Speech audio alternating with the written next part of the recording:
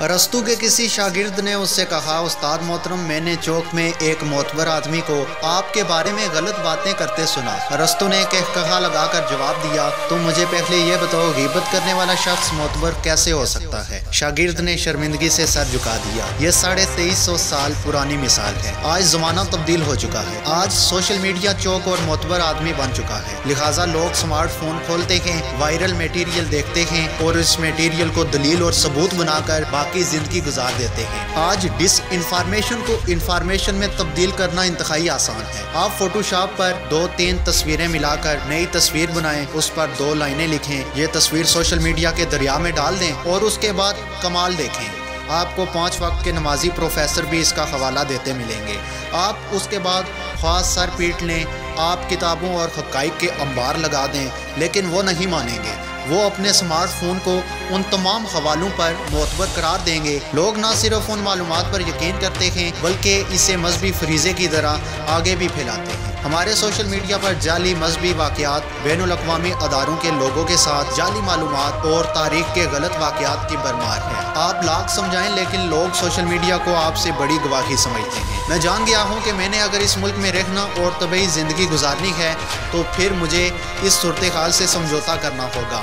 مجھے چند عادتیں ڈالنی ہوں گی اور میں یہ عادتیں ڈال چکا ہوں۔ ان عادتوں میں سوشل میڈیا کی عدالت، سوشل میڈیا کے فتوے اور سوشل میڈیا کی ریاست بھی شامل ہے۔ سوشل میڈیا آپ کو کسی بھی وقت بے ایمان غدار گستاخ، کافر اور مجرم ڈکلیئر کر سکتا ہے۔ اور آپ اگر سمجھدار شخص ہیں، تو پھر آپ کو ہر وقت اس کے لیے تیار رکھنا چاہیے۔ میں نے کچھ اور نئی عادتیں بھی اپنی زندگی میں شامل کر لی ہیں۔ مثلا میں یہ جان گیا ہوں کہ اگر آپ عام شہری ہیں یا آپ عام شہری کی طرح زندگی گزار رہے ہیں، تو پھر آپ کو پولیس کے ناکوں پر رکنا بھی پڑے گا۔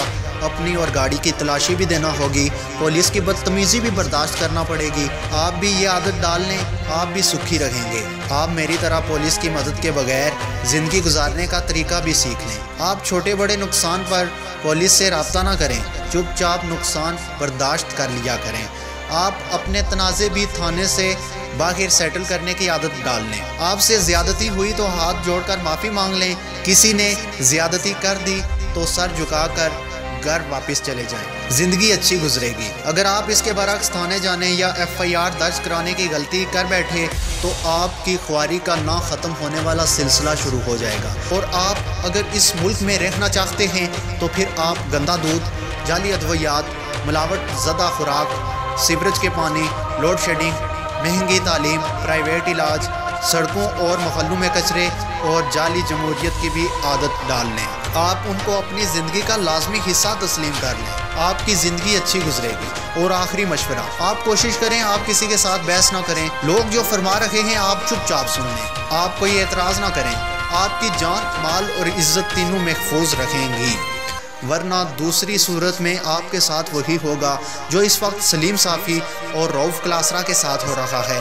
یہ لوگ سچ بولنے اور اچھی عادتیں نہ ڈالنے کی سزا بھگت رہے ہیں۔ یہ تحریر جاوید چودھری کے کالم زیرو پوائنٹ سے لی گئی ہے، جس کا عنوان ہے عادت ڈالنے۔ اگر ویڈیو اچھی لگی تو اپنے تمام دوستوں میں شیئر بھی کریں۔ شکریہ۔